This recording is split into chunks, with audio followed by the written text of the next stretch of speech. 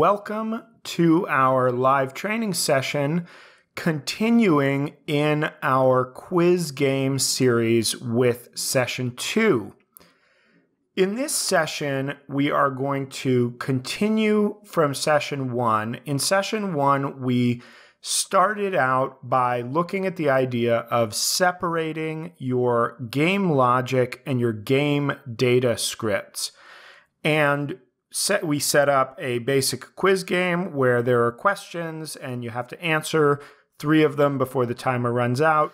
And so the data in this game are the questions and the answers, and then a few other pieces of information like the round length, how many points you get for a correct answer. And so in the first session, we set up an architecture where all of the data is separate from the game logic. And so we're going to continue with that today by now taking our data and loading it from a text file, in this case, using the JSON data format. And so we're going to be looking at the JSON utility class and how to serialize and deserialize Unity objects to and from JSON. We're also going to do some basic high score saving using the player prefs class, which is useful if you want to just save simple, simple information like single numbers.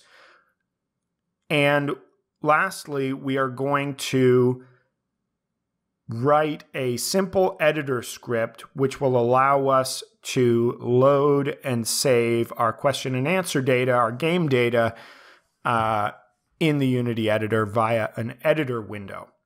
So first, I'm going to show you guys the completed version of the project. If you are following along live, I've linked in the chat a bit.ly link which will allow you to download the assets. If you're following on the archive, this is the link here, bit.ly, Unity Quiz Game 2 and this will allow you to download the starting point for this project as a zip file.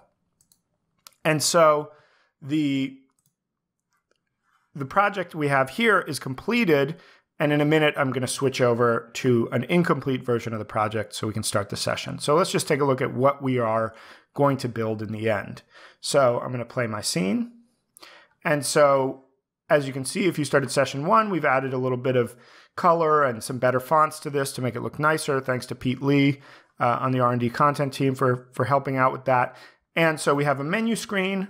We can hit start and it will take us into the game. We have a timer counting down and then we have a question and two buttons for our answers.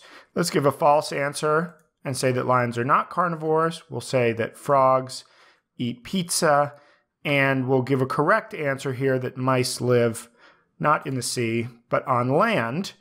And so in this case, our score was 10, and now our high score is 10. We can return to the main menu and play again. Let's give all false answers this time.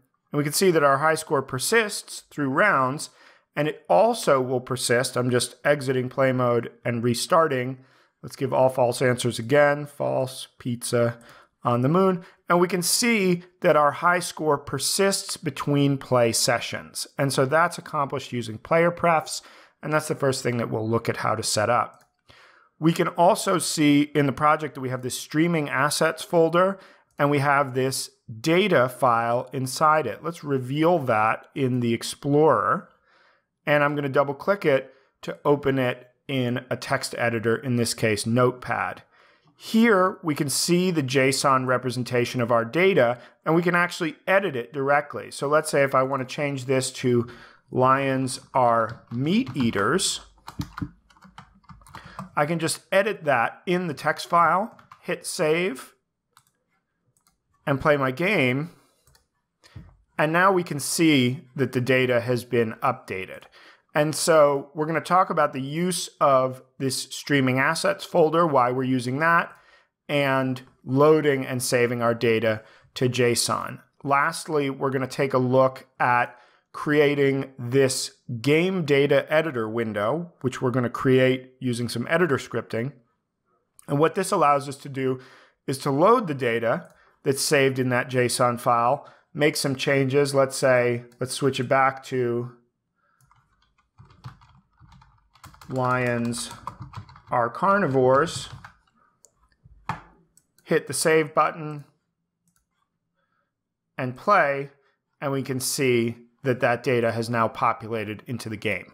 So a couple of different, two different approaches to saving and loading data, one using player prefs, one using JSON, and a little bit of editor scripting so that we can edit our data uh, inside an editor window in Unity. So this is the completed version of the project. I'm going to close this and we are going to begin in the incomplete version of the project, which you can download from the link that I provided. And so I've left the streaming assets folder and the JSON data in here uh, so that we have some data to test with and I don't have to type everything in on the stream. But you could also add those things manually yourself if you want to. Okay, so the first thing that we're going to implement is going to be saving and loading high scores via player prefs. I'm going to get to that in the next segment. Let me take a look at the chat and make sure that everybody's getting started okay, uh, and then we'll continue. GameCoder28 asks, can you use the data saving in a different format, e.g. you could save points? Uh, yes, you can save any data that you want. Uh, it's really just up to you what variables you want to save. And the question is, when you build the game into an app file, would the app require a separate file? That's what the streaming assets folder is for. So that will that data file is going to remain independent of our application, and we're going to talk about that.